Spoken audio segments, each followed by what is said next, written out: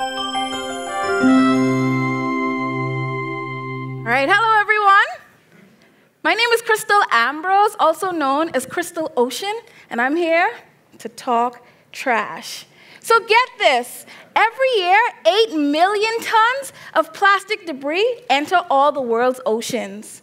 This is equivalent to one dump truck filled with plastic being dumped into the sea every minute.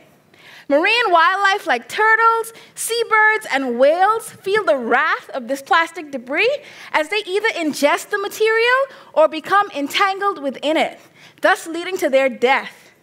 With the help of winds, tides, and currents, plastic debris travels the world's oceans on an open ticket and maroons itself on the most beautiful beaches of the world. I mean, my goodness, what a life, right?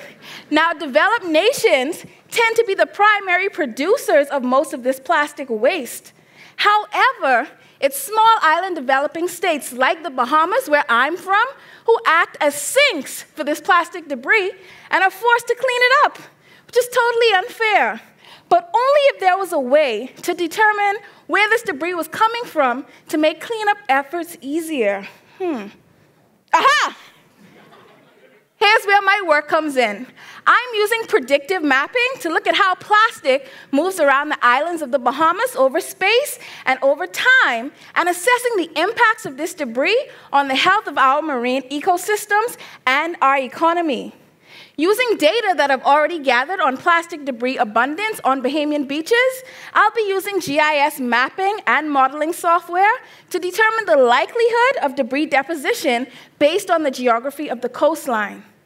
The predictive mapping data will be analyzed using the latest visual analytic techniques and will communicate how currents like the Gulf Stream and those of the Atlantic Ocean help influence debris landings. So you see, predictive mapping is cool, right?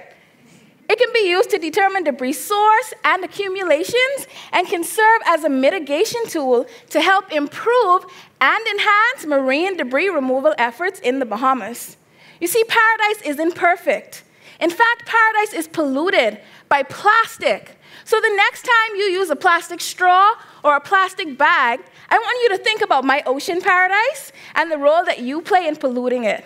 Refuse to use single use plastic items today, like right now, like when you walk out the door, like stop. All right? Thank you guys so much for your time.